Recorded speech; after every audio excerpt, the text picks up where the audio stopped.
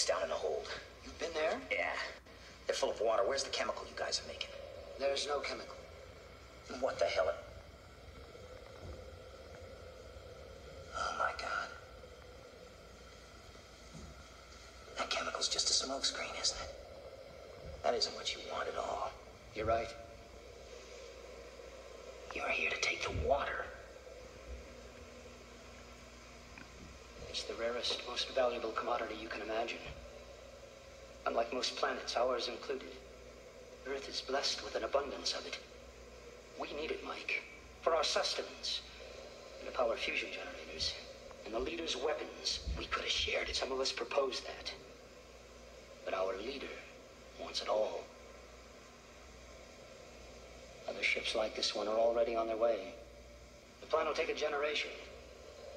But he'll have his way. And the Earth will become a desert. And humanity will die. No. There won't be any people left by then.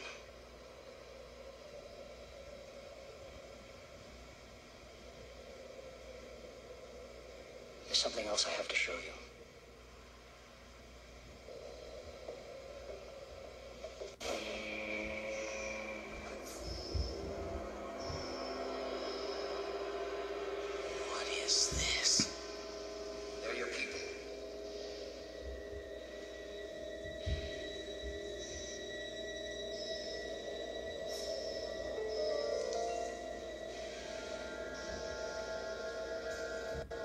Dead? No. Just the sight of death. Metabolism slowed extraordinarily.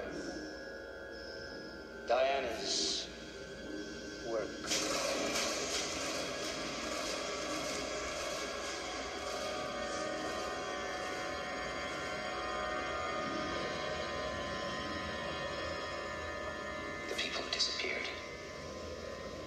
My son. Is in here somewhere. We're in another ship like this one. Why are they being taken? Stored like this, why not just killed? The leader needs them living.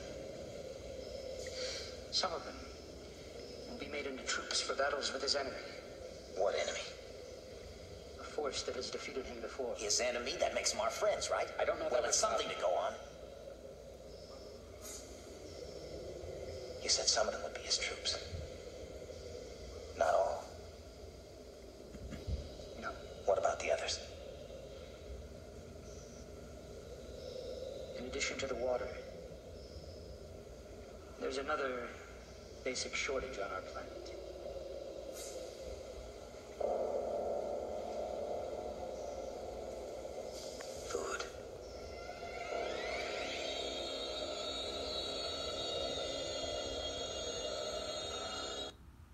Distilling our water and harvesting humans for food.